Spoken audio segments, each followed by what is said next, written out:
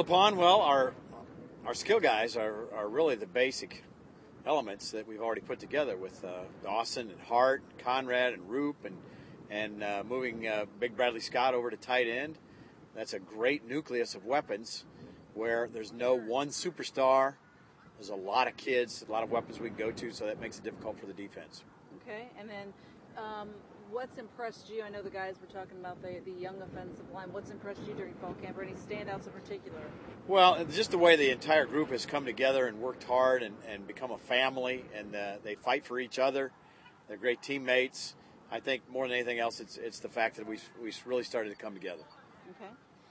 And you return a number of skill players back, offensively speaking. What's it mean to have that experience now at the quarterback, running back? What's that mean to you?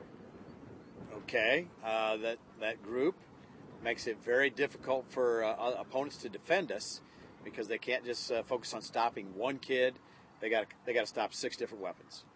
Okay. And how do you feel the offensive line is progressing? It sounds like it's positive.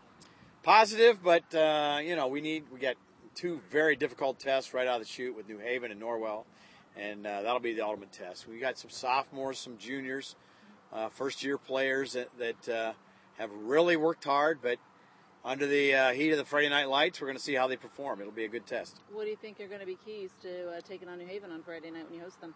Well, they're very athletic, very strong, coming off a great campaign. They're very well coached.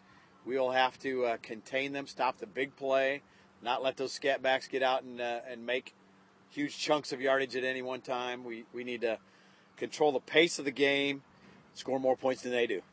Okay, and anything else you want to add? No, that'll do it.